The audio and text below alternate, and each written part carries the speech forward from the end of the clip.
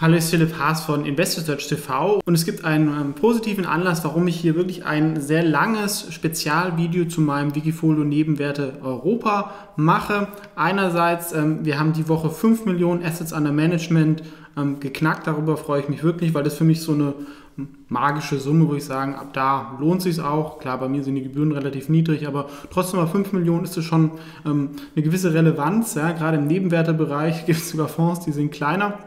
Und ähm, ich weiß jetzt nicht, wann ihr das Video schaut, aber als ich das Video jetzt mache, bin ich auf Platz 1 auch im Ranking. Das heißt, ähm, diese Mischung aus guter Rendite bei wirklich überschaubarem Risiko zahlt sich auch im Ranking aus. Und deswegen habe ich gedacht, weil das eine Video kam ja schon mal ganz gut an zum Wikifolio Venture Capital Strategies, wo ich alle Positionen mal kurz erklärt habe, dass ich das jetzt zu meinem anderen ähm, großen Wikifolio Nebenwerte Europa mache. Also ähm, lehnt euch zurück, holt euch vielleicht ein Wasser, einen Kaffee oder einen Tee und ähm, ich werde hier mal durchgehen, warum ich da investiert bin. Ansonsten vielleicht auch über die Strategie nochmal das ähm, Video zu der Strategie ähm, Nebenwerte Europa schauen. Da wird es nochmal erklärt, wie ich handle. Hier sind so die Aktien drin, vielleicht kann man die ein oder andere Idee mitnehmen oder worüber ich mich natürlich besonders freuen würde, auch das Wikifolio kaufen, weil es wirklich sehr diversifiziert ist ähm, und da braucht ihr schon ein großes Depot und ich bin, ähm, um das nachzumachen und wie gesagt, das ist hier jetzt kein ETF, sondern wird aktiv gehandelt.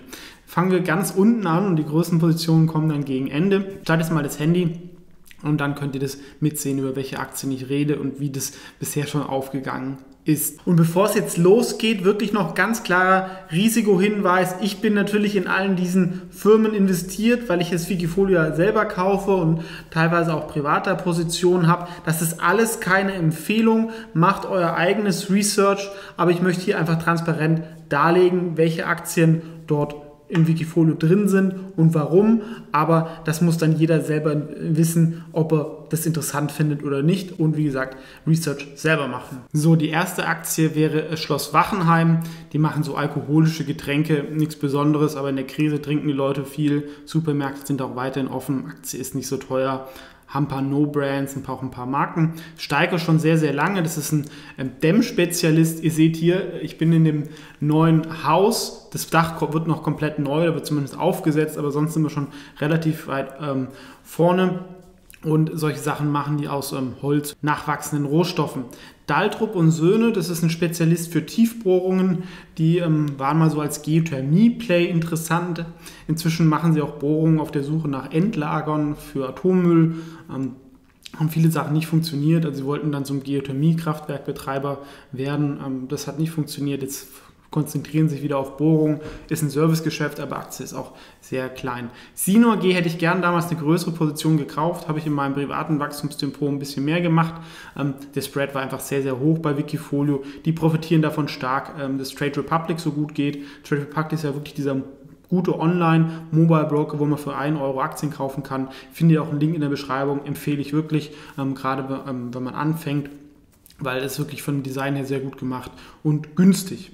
Ähm, Westwing, jetzt wo wir ein Haus ein bisschen einrichten, ähm, merkt man, es ist schon gut gemacht ja, vom Design. Qualität ist auch jetzt nicht alles super, aber gerade bei Möbeln ist Amazon auch nicht so stark. Ähm, das wollen die auch nicht so. Und wenn man ein bisschen Wert auf Design legt, merkt man auch, mir zum ersten Mal aufgefallen ist, auch die Amazon-Webseite mit den verschiedenen Fotos auch jetzt nicht immer das Allerbeste ist. UMT, das ist eine Mini-Position, wo ich mal beobachte. Ich vertraue denen auch nicht ganz, aber wenn die Zahlen stimmen, ist sehr günstig. Die so vom Mobile Payment ähm, profitieren sollen, haben da eine Lizenzpartnerschaft mit ähm, Payback Pay. Muss man mal schauen. Ähm, Guidance ganz aggressiv. Aber das sind so Positionen, wenn es nicht hinhaut, ähm, ist es sehr überschaubar und sonst ist man halt mal dabei, wenn es ähm, nach oben geht und kauft vielleicht dann mehr. MWise ist eine IT-Beratungsfirma, ist aber eher ähm, interessant, weil die auch ein eigenes Produkt haben, was bisher noch nicht so läuft, aber wenn es mal läuft, dann kann es locker ein Vielfaches der aktuellen Marktkapitalisierung wert sein. Ähnlich ist auch bei Max 21, auch ein interessantes Produkt so zum Postdruck. Fever Tree ist eine Aktie, die ich glaube ich während Corona-Crash gekauft habe war immer sehr teuer, ähm, ist eine Marke für so Tonics, ja, und ich trinke auch mal ganz gerne Gin Tonic und trinke ich selber. Und die sind eigentlich ganz gut positioniert, denn ähm, wenn man irgendwann die Leute äh, kaufen ja immer teure Gins. Wenn man dann den, das billige Tonic Water, das kommt dann auch nicht immer so gut an. Global Fashion Group ähm, habe ich auch mal ein Video zu gemacht, Ähm, die haben viele so Salandos außerhalb von Europa, in Russland, glaube ich, in ähm, Australien, Lateinamerika und profitieren natürlich auch von der aktuellen Situation. Genauso wie Shop-Apotheke. Nachhinein ähm, könnte man natürlich immer sagen, noch eine größere Position. Ich fand es nie so günstig so davor. Jetzt ist sie wirklich auch überteuert, aber profitieren natürlich massiv. Leute sind zu Hause, ähm, brauchen Medikamente, weil sie denken, geht's schlecht ähm, und bestellen sich nach Hause. Allerdings halt die Frage, Amazon kommt jetzt in den Markt, wie sie sich da so behaupten werden. Boost habe ich auch äh, in den Schweden-Aktien vorgestellt, ist so das Salando von ähm, Schweden, war mal sehr günstig während der Krise und profitiert halt eigentlich aktuell auch massiv. Vitrolife hat ein spannendes Geschäftsmodell, die sind eigentlich so der Pure Play auf ähm, künstliche Befruchtung. Ja, die Leute kriegen ja immer später Kinder, Frauen machen Karriere und da äh, bieten die viele Produkte an und wenn man das abdecken möchte, und es glaube ich, auch ein Wachstumsmarkt, äh, vor allem in den westlichen äh, Gesellschaften wird es auch immer ein Problem, dass gerade Akademiker weniger Kinder bekommen. Könnte ich mir vorstellen, dass da mehr staatliche Förderung gibt, dass auch die gesetzlichen Krankenversicherungssachen mehr übernehmen. Das wird, glaube ich, noch mehr kommen ist teuer, deswegen kleine Position. SEB, ähm, die haben WMF gekauft und ich bin ein Riesenfan von WMF oder so deutschen äh, Qualitätsprodukten. Ähm, ist auch, kam auch runter, aber jetzt auch in der Krise, Leute kochen viel, so Pfannen, ähm, aber auch Kaffeeautomaten ähm, Highlight.com, das ist so Medienkonzern, gab es lange Zeit ganz viel so ähm, Shareholder-Streitigkeiten, könnte jetzt beigelegt sein, profitieren ja eigentlich, dass die Leute viel Medien konsumieren, dass es ein, ähm, sag ich mal, Streaming Wars gibt und haben auch viel Rechte mit der FIFA-WM, ähm, ist so eine Sondersituation. Die MIG AG, war auch eine wirklich üble Aktie viele Jahre lang. Jetzt hat sich da einiges gebessert. Die haben so einen Anbieter von solchen Surf-Terminals übernommen. Da wird es noch viele Kapitalerhöhungen geben, aber per se finde ich das ganz spannend. Pyramid oder so heißen die. Ähm, habt ihr vielleicht schon mal gesehen, wenn man bei McDonalds einkauft, da gibt es jetzt diese ähm, wo man, Bildschirme, wo man seine Bestellungen eingeben kann. Finde ich super. Von der, man muss sich nicht mehr in die Schlange stellen, kann irgendwas anderes machen und kann sich in Ruhe überlegen, was ich jetzt irgendwie will. Also das hat wirklich einen doppelten Benefit wird, werden wir auch noch in weiteren Bereichen, denke ich, sehen. Dr. Höhne, so ein Technologieunternehmen, haben zum Beispiel so UV-Behandlung, was auch in Corona ähm, wichtig ist, und Wasser. Zur Plus, ja, Tiernahrung, Versand, ist halt auch die Frage, wie stark es gegen Amazon ähm, sich da behaupten kann. Aber sie sind in Europa wirklich groß als Marktführer und schon lange am Markt. VIP Vermögen, eine meiner Immobilienaktien, eine der günstigsten, die ähm, haben viele Logistik- und Immobilien, aber auch so Handelsimmobilien, die von der Krise aktuell nicht betroffen sind und ähm, noch einen guten Yield, also Zins bekommen. UIT ist so eine sehr günstige Sondersituation, muss man mal abwarten. Ähm, müsste ich mich auch noch mal mehr damit beschäftigen. Aber das ist so, das finde ich erstmal interessant. Ähm, kaufe ich mal eine Mini-Position ähm, und ähm, werte dann auch mal ab. Tick Trading, das gehört zu diesem ganzen Konstrukt Sino, Lang und Schwarz die von diesem ähm, mehr Handelsvolumen profitieren, ähm, haben da also eigene Software, die sie auch lizenzieren. Und je mehr Daytrader und solche Sachen es gibt, desto besser. Menschen und Maschine ist so ein CAD-Design-Anbieter, also wenn die Leute irgendwelche Sachen bauen oder designen, ähm, weiß, Aktie ist viel zu teuer, aber nach dem Q5A-Modell bin ich ja auch bei sehr guten Aktien, die zu teuer sind, mal mit einer kleinen Position dabei. ABC Arbitrage ist so ein bisschen was wie Flow Traders, ähm, eigentlich so eine Art Hedgefonds-Strategie ähm, die davon profitieren, wenn es viele Schwankungen gibt, aber auch sonst irgendwelche so Arbitrage sag ich mal, Trading-Strategien haben, ist sehr defensiv, aber jetzt kein Sandbagger, aber das sollte sich auch beruhigen.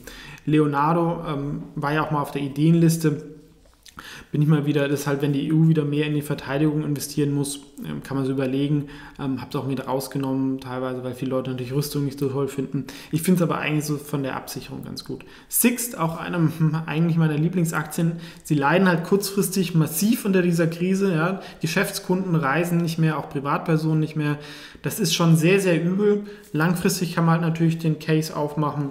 Konkurrenz wird verschwinden ähm, sie werden sicherlich eher überleben mit der Marke und auch dem sag ich mal, deutschen Staat oder ähm, den, den guten Beziehungen dahinter. Und sie haben natürlich auch schöne neue Modelle. Ja. Also zum Beispiel, was ich auch interessant finde, gibt es irgendwie ein Startup, was sehr teuer be äh, bewertet ist, aber sie haben den gleichen Service, dass ich jetzt nicht mehr ein Auto lease, sondern eigentlich komplett miete. Ja, und das glaube ich schon, was die junge Generation möchte, wenn man sagt, okay, ich will jetzt für ein halbes Jahr ein Auto haben, aber mich nicht um Anmeldung kümmern, um Versicherung, um Winterreifen, sondern ich miete einfach, zahle relativ viel, aber ich muss mich um nichts weiteres kümmern. Finde ich auch spannend. Ja. Und natürlich ganz gut, weil sie gerade ihre Autos nicht vermieten können, sowas dann zu machen.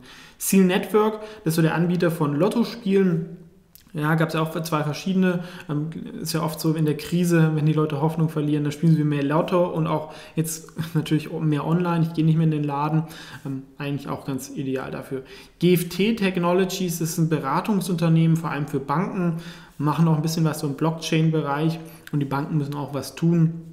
Ähm, Aktie war mal deutlich teurer, ist halt immer die Frage, wie groß dann die Budgets sind. Eckert und Ziegler ist ein Anbieter von Nuklearmedizin und haben da auch so eine neue Technologie, was eine bestehende wirklich in Krankenhäusern ähm, ersetzen könnte, deutlich günstiger sein kann. Ähm, Click Digital ist eine Firma, die davon profitiert, ähm, dass Leute zu Hause sind. Sie haben so Mobile Gaming und Mobile Entertainment als äh, eher so Low Quality, aber funktioniert da auch und Aktie war auch nicht so teuer. Formicon ist ein Hersteller von Biosimilaren, das ist sowas wie Generika, nur für Biotech. Aktie ist jetzt stark gestartet, weil, glaube ich, gab Nachrichten, dass irgendwas mit noch Corona-Impfstoff oder sowas machen. Thule Group ähm, habe ich auch mal unter 10 Aktien aus meinem Leben vorgestellt. Ähm, ist jetzt relativ teuer, aber die machen ja diese ähm, Gepäckträger fürs Auto und wir haben es für ähm, Fahrradanhänger. Wirklich super Qualität. Scherzer ist ein ähm, deutscher Nebenwerte-Spezialist, die investieren auch in andere Nebenwerte. Deswegen bin ich da aber nicht investiert. Ne? Das kann ich selber, wie ihr seht, ähm, aber sie machen solche Spruchverfahren und ähm, das sind so Sondersituationen, wo man dann manchmal sehr viel Geld zurückbekommen kann. Ein Bereich, wo ich mich jetzt nicht so auskenne. Und zum Beispiel, wenn ich mich nicht so auskenne, dann kaufe ich auch das andere zum Beispiel gerne. Ja? Fabersoft, ähm, auch ein sehr guter deutscher Softwareanbieter, müssen auch viele ähm, öffentliche Stellen nutzen, wächst sehr, sehr stark, leider natürlich auch wieder teuer. Ähm, Softing ist ein bisschen günstiger, ist so ein Industrie 4.0 Anbieter. Da gibt es auch so eine Umstellung und sie haben da, glaube ich, so ein ähm, Produkt, was da genutzt werden kann. Ähm, ist, ein viel, ist ein bisschen so eine Wundertüte, ähm, ist in vielen Bereichen dabei, können auch mal entdeckt werden.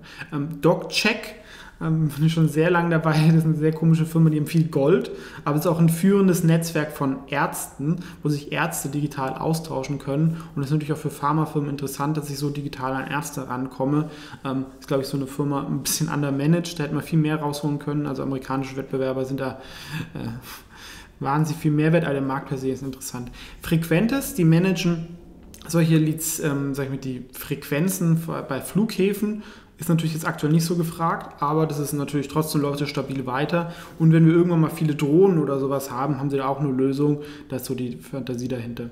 Bei Evo Traffic, die managen so Züge und öffentlichen Nahverkehr. Kann man sagen, das ist halt so eine grüne Aktie. Ich glaube, Daimler ist da auch investiert. Und so Telematik wird natürlich auch wichtig, wie man diese ganzen Mobilitätsströme besser aufteilt. Zu ähm, Compleo Charging Solutions habe ich auch ein Video zu gemacht. Das ist ein Anbieter von so Ladesäulen. Sehr teuer, aber passt natürlich gerade auch in den Zeitgeist und ähm, sag ich mal, das Investment ging ja auch auf. GCast Software war lange eine Sondersituation, wo SAP, glaube ich, beteiligt war, haben viele auf eine SAP-Übernahme ähm, spekuliert. Die sind ein führender Anbieter für Software für den Einzelhandel und der Einzelhandel muss ja jetzt auch was tun. Der muss in den Omni-Channel ähm, reingehen. Das heißt, ähm, das digital und offline verzahnt wird und da haben sie viele ähm, ähm Softwareangebote, aber auch Analysen. Sie schauen, wer sind überhaupt meine Kunden, wie reagieren die, also Sachen, die ich jetzt äh, aus der Online-Welt wirklich kenne, äh, dass man irgendwie weiß, wie lange Leute auf einer Webseite oder so bleiben. Das hat der Einzelhandel ja gar nicht. Ähm, FCR Immobilien habe ich ja ein Video auch gemacht mit dem Falk Raudis, fand ich äh, ganz interessant, vor allem mit dieser IT-Komponente, ist zum Beispiel jetzt auch eine Beobachtungsposition, ich finde es nicht so teuer, könnte ich auch mal ausbauen. Capture Traffic, das ist zum Beispiel so, kam extrem runter, ähm, ist eigentlich aber eine, auch eine spannende Firma im Bereich Telematik und ja, wenn der deutsche Staat doch zahlen müsste ähm, bei der Autobahnmaut, die nicht kommt, dann würde allein die Strafe, glaube ich, die Marktkapitalisierung schon abdecken. Das ist also nicht drin und das ist so ein asymmetrischer Trade. Home 24 Ähnlich wie Westwing. Ähm, ich finde eigentlich Westwing ein bisschen besser, ist ein Anbieter von Möbeln online, aber Westwing ist ja mehr so Social Design, mehr Zielgruppe Frauen, wobei ich nutze es auch, ich finde es ganz schöner. Und Home24 mehr so, ich suche ein Sofa und kriege ein Sofa. Bei Westwing wird mir vorgeschlagen, hier gibt es diese Produkte und dann so, ich brauche ja eigentlich nicht noch ein Kissen und dann laufen, kaufen die Leute das. Nexus ist ein Anbieter von Software für, ähm, gesund, für den Gesundheitssektor, ähm, gefällt mir eigentlich besser als ähm, CompuGroup Medical, das große ist auch stärker gewachsen, ist auch mal ein mögliches Übernahmeziel. Blue Cap ist so eine typische Mittelstandsholding, ähm, wenn man das alles zusammenbringt, vor allem mit den Immobilien, auch unterbewertet. Ähm, MyHammer nutze ich auch selber. Ich bin ja auch Vermieter, wenn man irgendwie einen Handwerker braucht. Oft weiß man ja nicht, was ist jetzt so der normale Preis dafür und habe ich eigentlich gute Erfahrungen gemacht. A, mit einer guten Qualität. Ich, A, ich finde die Leute und B, ich weiß, ich werde nicht übers Ohr gehauen, weil der halt auch weiß, ähm, es gibt noch andere Angebote im Normalfall.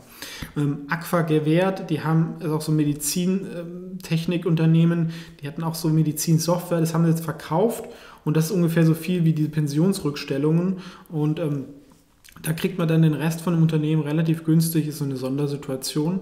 Ähm, E-Persistence, äh, eine sehr spannende ähm, Aktie eigentlich, auch eine Sondersituation, aber sehr klein vom, vom Spread, deswegen schwierig.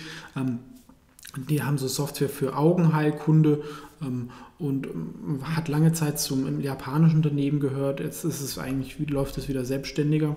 Deutsche Familienversicherung, das ist eigentlich so das Lemonade von Deutschland, wenn man es vermarkten möchte, sind technisch sicherlich nicht so gut, aber äh, zumindest verkaufen halt so kleine äh, Versicherungen übers Internet. Ob man die jetzt braucht, ich glaube es nicht, aber ist auf jeden Fall im Versicherungsbereich gibt es nicht so viel und ist ein stabiles Geschäftsmodell, auch nicht so uninteressant. Evotech ähm, Biotech-Anbieter, auch mit einer eigenen Plattform. Einhell, das kennt ihr vielleicht vom Baumarkt, ja, diese ähm, Schrauber und ähm, was da das Spannende ist, dass sie ein bisschen so eine Plattform aufbauen, dass solche Batterien-Sachen an verschiedenen Geräten ähm, funktionieren und dann kauft man halt alles vom einen Anbieter, ganz clever. Energiekontor, die bauen Windparks, aber haben auch eigene und ähm, so als grüne Aktie ist gerade ziemlich ähm, durchgestartet. Ich glaube, die Samwas stecken da auch dahinter und kaufen dazu. Das ist auch ein Grund. Cortesera Amorim aus Portugal ist, glaube ich, der Weltmarktführer bei Kork. Ja, Kork kommt in Weinflaschen rein, aber ist auch ein sehr nachhaltiger ähm, Werkstoff, was man zum Beispiel im Bauen oder sowas ähm, verwenden kann. Vectron, ein Anbieter von Kassensystemen für Bäckereien vor allem. Und die müssen natürlich auch digitalisieren und das finde ich eigentlich besser, dass man zum Beispiel nicht mehr das schmutzige Bargeld annimmt, sondern es gibt so eine Box, wo man das reinwirft ähm, und plus ist es schneller vom Prozess ähm, und können auch noch Bonussysteme dranhängen. Kiagen ist so ein ähm, Analyseanbieter, hat von Corona stark profitiert. Ähm, gab auch mal eine Übernahmesituation und dann gab es wieder weg. Jetzt die Aktie eigentlich auch für Sektor nicht so teuer, absolut schon. Vakutec habe ich auch ein Video zu gemacht. Ähm, das ist, sag ich mal so, die, die Thermoflasche für ähm, Medizinprodukte, die ganze Logistik, wenn es auf minus 70 Grad gekühlt wird, das kann vor allem Vakutec gut machen. Gibt es auch ein paar andere und äh, verkaufen ihre Produkte auch an Kühlschrankhersteller. Aber es ist eigentlich eine grüne Aktie, weil sie halt ähm, Produkte hinstellen, die ähm, Sachen, ähm, die Temperatur stabil halten können. USO Software, ein kleiner Softwareanbieter, ähm, auch nichts wahnsinnig Spannendes. Swissquote ist so der führende Discount-Broker in der Schweiz, wobei Discount und Schweiz natürlich nicht so wie in Deutschland ist, aber profitieren natürlich davon, dass die Leute mehr ihr Geld selber anlegen. Ja. Ähm, das nächste wäre 2G Energy, ähm, eine Aktie, die solche Blockheizkraftwerke kauft ähm, auch ganz interessant und eigentlich auch eine grüne Aktie. Quirin Privatbank ähm, haben auch so einen Robo-Advisor und es hat auch lange Zeit nicht so ähm, funktioniert mit den Beratungen, aber jetzt ähm, langsam kommen da ganze Assets rein. TeamViewer habe ich auch mal eine Aktie jetzt gemacht, also das deutsche Zoom ähm, profitiert eigentlich halt auch davon, von der Situation und ist eigentlich auch eine grüne Aktie, weil wenn die Leute jetzt nicht mehr für eine Geschäftsreise irgendwo hinfahren müssen oder irgendeine Maschine zu warten, ähm, dann ist das natürlich auch gut für die Umwelt. Intershop ist so ein bisschen die Vision, ist eine der 2000er Aktie, dass sie ihre E-Commerce-Plattform einfach jetzt an mehr Kunden noch verkaufen können. Exasol wäre so die deutsche Snowflake, ähm, wächst natürlich nicht so stark, aber ähm, jetzt haben sie extra mal Geld über den Börsengang, was sie in Sales investieren können. ProCredit ist eine günstig bewertete Bank, die viel in Osteuropa aktiv ist. Yok ist so die ähm, Vision, dass dieser Mobile-Marktplatz ähm, größer wird. Es ist so eine Media Advertising Agency, aber auch mit Plattformgedanke. Just Eat. Ich mag ja die Food Deliveries nicht so, weil es sehr teuer ist. In dem Sektor ist aber auch relativ günstig. Wir haben in hierzulande, glaube ich, Lieferando. In den Niederlanden haben sie äh, den Anbieter und kaufen jetzt auch Grubhub und in England, also haben eigentlich so die etablierteren Marken. Mail.ru, so das Facebook von Russland. Vita 34 die frieren Stammzellenblut ein und das ist so eine monatliche Mietgebühr, natürlich sehr, sehr stabil, egal wie man jetzt zu Stammzellenblut ähm, steht. MPH Healthcare ähm, ist, die haben drei Beteiligungen. Eins ist der führende Anbieter von äh, Schönheits-OPs, dann Immobilienthema noch ähm, und dann noch so ein Pharmahandel Borussia Dortmund, muss man nichts zu sagen. Ähm, Glaube ich, könnte halt davon profitieren. Der Kader allein deckt die Marktkapitalisierung ab. Dazu hat man noch das Stadion. Und der Vorteil ist, wenn wir uns halt wieder öffnen, könnten die davon auch profitieren ähm, und wenn es vielleicht auch mal eine europäische Liga geben würde. Peach Property, kleine Immobilienfirma, die eher so hässliche Endline kauft, sitzen in der Schweiz, sind aber vor allem in Deutschland aktiv. Ähm, Sto, auch ein Anbieter von Dämmstoffen, ja, auch eine grüne Aktie. CW, kennt ihr wahrscheinlich das Fotobuch. Jetzt hat man viel Zeit zu Hause, ein gutes Geschenk ähm, eigentlich, ja, ähm, um mal Fotobücher zu machen, andere ähm, Geschenke. Adler Group, gab es ja auch so eine Fusion ja, ähm, aus Other Properties, ähm, das ist eigentlich die ehemalige Other Properties und da wird eigentlich ein neuer großer Immobilienkonzern ähm, geschmiedet. Play Magnus ähm, ist von dem führenden oder besten Schachspieler der Welt äh, die Firma, wobei natürlich das operative andere Leute machen. Und da kann man ähm, online Schachtraining ähm, machen oder ähm, irgendwie Schachturniere zuschauen. Und Schach boomt gerade, ähm, A, weil die Leute zu Hause sind und sich digitalisiert und B, weil es so eine neue Netflix-Show gibt, Damen Gambit. Wall Street Online, dass die Vision hat mit Smart Broker, dass sie weg von diesem Portal kommen, was jetzt nicht so to toll ist, aber Smart Broker ist für mich das beste Angebot auf dem deutschen Markt zum Aktienhandel, ist auch der Link in der Beschreibung und da werden sie langfristig, glaube ich, auch profitieren. Flow Traders, so ähm, die Goldaktie, wie gesagt, ähm, ähm, profitiert halt, wenn es nochmal einen Crash geben sollte. Aktuell deswegen weniger gewichtet. Bonduelle ist, glaube ich, der größte oder zumindest in Europa Anbieter von Gemüse, Dosengemüse, aber auch frisch. Und die Leute essen ja auch weniger Fleisch und ähm, eine sehr defensive Aktie. Normalerweise, Bonduelle ist ja schon eine Marke, ähm, sind die Aktien in diesem Sektor relativ teuer. Bonduelle ist sehr günstig. OHB ist der führende Raumfahrtkonzern, zumindest der unabhängige in Deutschland ähm, familiengeführt, sehr viel Hightech. Havesco, ähm, die, äh, die, haben zum Beispiel stark Weindepot, das ist aber uninteressant, sondern sie haben viele so Online-Weinseiten und es ist eine Möglichkeit, um die Leute sitzen zu Hause, bestellen Wein online und davon profitieren sie halt. Bitcoin Group, äh, da habe ich auch das Video zu gemacht, war eine Spekulation, ging auf. Ähm, habe ich auch schon Gewinne mitgenommen, ist so ein ähm, Bitcoin-Marktplatz, wo man halt Bitcoins in Deutschland kaufen kann, haben auch selber Bitcoins, einfach um das Thema ein bisschen abzudecken.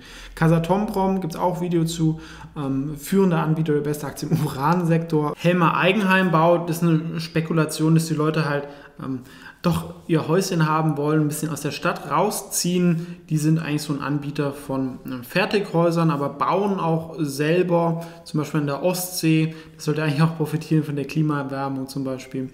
Villeroy und Boch, ähnlich wie WMF, eine schöne deutsche Marke. Und jetzt hat man den Satz gehört, wer es schafft, ähm, Teller und Toiletten mit der gleichen Marke zu verkaufen, ist schon was Besonderes. Wirklich ein altes äh, Traditionsunternehmen, haben auch noch Immobilien. So in Luxemburg ist eigentlich nicht teuer, aber auch ein bisschen zyklisch, weil es auch ein bisschen von der Bauindustrie ähm, abhängt. Hugo Boss, die leiden natürlich ähm, aktuell. Ich habe es relativ unten erwischt, weil ich mir halt auch gedacht habe, die digitalisieren halt jetzt auch.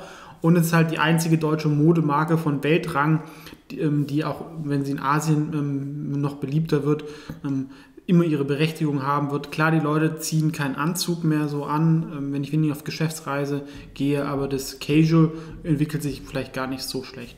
United Internet ähm, eigentlich auch sehr günstig. Es wird gehasst, weil sie jetzt auf, anfangen, ein eigenes Netz aufzubauen. Das mögen die Telco-Analysten nicht so, ähnlich wie Rakuten in Japan. Ich glaube aber, dass das inzwischen relativ günstig ist. Da gibt es jetzt verschiedene Anbieter, dass man das Netz virtueller und sowas machen könnte. Und sonst haben sie auch relativ stabile Internet-Assets mit Affiliate, mit Ionos, was eigentlich so stabil im Subscription-Modell läuft und immer auch was wert ist. PV Tepler, wirklich Hightech Die bauen zum Beispiel so Kristallzuchtanlagen, ähm, was so ganz am Anfang steht in der Halbleiterbranche. Aus diesen Kristallen kann man dann irgendwann äh, Waver machen und Chips. Aber man braucht halt diese Anlagen und das wird dort gemacht und für die Bedeutung eigentlich ist die Firma nicht so teuer. MBB ist eine Beteiligungsgesellschaft. Gibt es natürlich ein paar Sachen, die gut laufen, ein paar schlechter, ähm, ist insgesamt aber auch nicht so teuer. Verratung, das ist halt so, äh, glaubt man den Zahlen oder nicht oder ist da irgendwas faul? Ähm, wenn die Zahlen so stimmen, ist es auf jeden Fall eine sehr günstige Fintech-Aktie. Ähm, ist ein Kreditanbieter für Firmen, aber vor allem Privatpersonen, kommen so ein bisschen aus dem Microloan-Segment, aber haben sich jetzt schon weiterentwickelt was eigentlich ein höherwertiges Geschäftsmodell ist und wollen auch so ein N26 Mobile Bank wieder neu rausbringen. 7C Solarparken, wirklich gut geführter Betreiber von Solarparks. Ähm, so ein Belgier, der es wirklich gut macht, ähm, sind eigentlich vom ganzen Boom noch nicht so erfasst worden, weil sie ein bisschen klein sind. Boohoo ist wegen dem Skandal ziemlich runtergekommen, ist aber eigentlich ein ähm, sehr gut geführter Modehändler online indem sie zum Beispiel irgendwelche Marken aufkaufen und dann mit Influencer-Marketing die wieder groß machen, ist in den ähm, UK sehr erfolgreich und vor allem jetzt auch in den USA. Und in den USA gibt es ja eigentlich noch nicht so die Mode-E-Commerce-Aktie, außer vielleicht Stitch Fix, was so individuell ist. Und wenn sie das da schaffen, hat es schon großes Potenzial. Aurelius, um das Thema ähm, Private Equity abzudecken, ähm, notiert deutlich unter NAV, hat sich vier Jahre schlecht entwickelt, hat davor mal so ein Highflyer ist sicherlich auch ein bisschen so ein Selbstbedienungsladen, aber ich glaube, das ist auch im Preis ein bisschen drin. Malburger, dazu auch nochmal das Video, das Interview mit dem CEO, schauen, was ich gemacht habe, ist so die Hoffnung für eine Revitalisierung der Solarindustrie in Europa, weil wir können das nicht alles aus China importieren oder zumindest ist riskant. Deswegen glaube ich, dass es kommen wird. Ist jetzt schon aufgegangen, ein guter Teil von dieser Spekulation, ähm, aber trotzdem auch noch eine Position dabei. Ja, das ist zum Beispiel ein Beispiel von dem QFMA. Ich glaube, es war auch mal mit 4% gewichtet und wird dann langsam runtergefahren.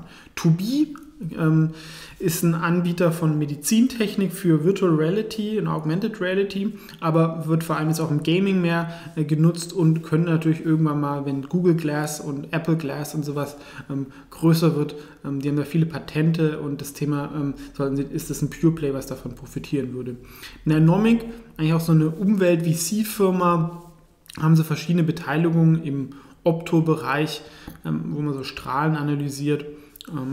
Ja, lief auch, auch ganz okay. Medion Games ähm, ist eine Gaming-Firma mit einer besonderen Strategie, dass sie keine eigenen Games entwickeln, sondern ähm, Games günstig aufkaufen, die ein bisschen verbessern und dann ähm, besser vermarkten, was ich eigentlich ganz gut finde, weil man da nicht so dieses Hit-Risiko hat.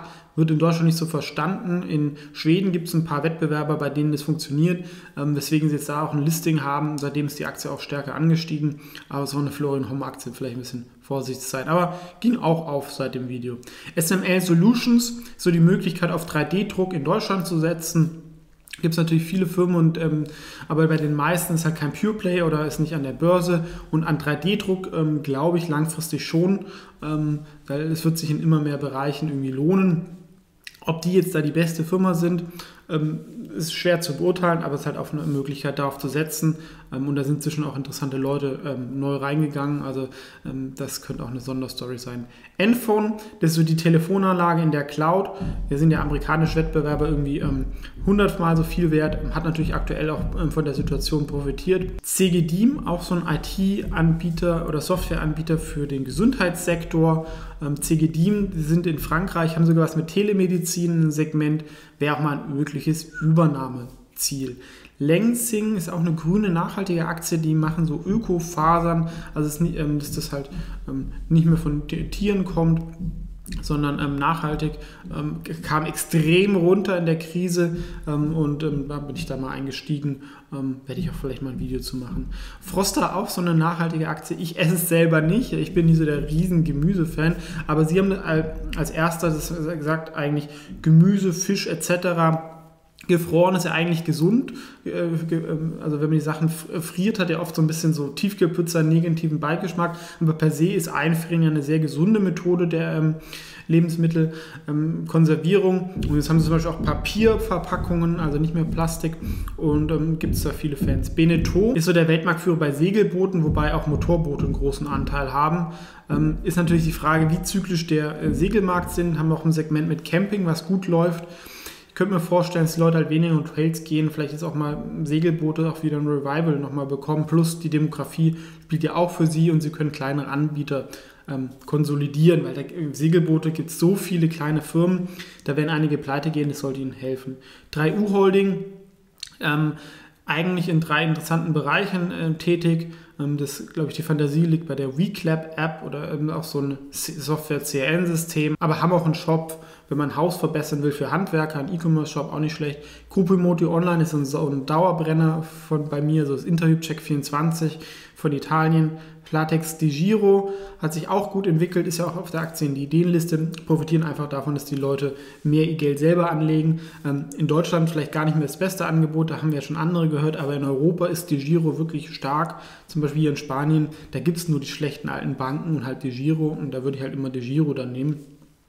EVN ist ein sehr günstig österreichischer ähm, Energieanbieter, wo eigentlich fast die gesamte Marktkapitalisierung schon durch die Beteiligung an Verbund abgedeckt ist, also so ein Deep Value Play. CTT Correos ist die portugiesische Post, die auch noch eine Bank haben und ich kriege das auch hier mit, also Portugal, Spanien ist E-Commerce wirklich fünf, sechs Jahre hinten dran, aber jetzt mit der Pandemie ähm, bestellen die Leute natürlich auch viel online, sollten davon eigentlich auch profitieren. ÖkoVolt, ähm, jetzt kommen wir zu den Kernpositionen, ist ja ein Sektor, wo ich mich gut auskenne als ehemaliger Fondsmanager. Die sind so der Pionier bei nachhaltigen Fonds. Fonds sind auch sehr teuer, aber wird natürlich gut gekauft, weil die Leute denken, äh, es geht mir nicht nur um Performance, ich habe auch ein gutes Gefühl und sie sind auf jeden Fall nicht diejenigen, die Greenwashing machen, sondern schon leben, sind ein bisschen zu teuer, aber als Aktionär ist ganz gut und wächst auch extrem und ich glaube, würde ich auch einige Jahre noch so weitergehen. Und SAS Ist auch ein Anbieter, ähm, ein kleiner Softwareanbieter, ähm, wo man sagen kann, vielleicht gibt es aber eine Cloud-Transformation, das so wahrgenommen wird, ähm, haben da so verschiedene Risk-Management-Modelle, kann man sich auch mal das Video äh, zu angucken, was allerdings für die Member exklusiv war. Das waren also alle meine Aktien aus dem Wikifolio Nebenwerte Europa. Das heißt, wenn ihr das kauft, kauft ihr diese Aktien mit Sonst, wer Wikifolio noch nicht kennt, nicht natürlich nochmal das Video Erklärung Wikifolio anschauen. Und jetzt glaube ich, ähm, jetzt wisst ihr ein bisschen mehr, was da drin ist. Und es ist vielleicht auch einfacher, ähm, also so zu machen, als wenn man es selber macht, hat auch noch steuerliche Vorteile. Ähm, genau, und aktuell, wie gesagt, fast 40 Prozent auf ein Jahr, 18 Prozent pro Jahr und fast plus 300 Prozent, wobei das durchschnittlich 18 Prozent pro Jahr wäre eigentlich sogar noch mehr, weil ähm, die ersten, glaube ich, zwei Jahre habe ich ähm, mit dem Wikifolio gar nichts gemacht. Das heißt, eigentlich sind wir jenseits der 20 Prozent pro Jahr und vor allem das beim maximalen Verlust von 20 Prozent, da sind wir beim S-DAX, im DAX, ähm, glaube ich, beim Doppelten. Ja, das ist wirklich so ein bisschen der heilige Gral hier ähm, gelungen und äh, dass man sagt, man hat Outperformance bei niedrigem Risiko und deswegen glaube ich, ähm, bin ich da auch zu Recht da oben im, im, Ranking. Aber es gibt natürlich auch noch andere Wikifolios von mir. Es gibt jetzt sogar auch ein ähm, Dach-Wikifolio und es gibt auch ein Buch, kann man sich auch mal anschauen, finde den Link in der Beschreibung, was ich geschrieben habe, wo alle meine Investmentmodelle, aber auch ähm, generell, warum investieren, ist nicht nur in Kapital, sondern auch in andere Dinge wichtig ist. Vielen Dank fürs Zuschauen für dieses lange Video. Gerne natürlich teilen. Ich glaube, du hast was gelernt. Und ähm, ansonsten bis zum nächsten Mal. Und wenn das Wikifolio für dich natürlich interessant wäre, findest du einen Link zum Wikifolio Nebenwerte Europa in der Beschreibung oder natürlich unter wikifolio.com. Ich hoffe ganz oben im Ranking. Vielen Dank und bis zum nächsten Mal.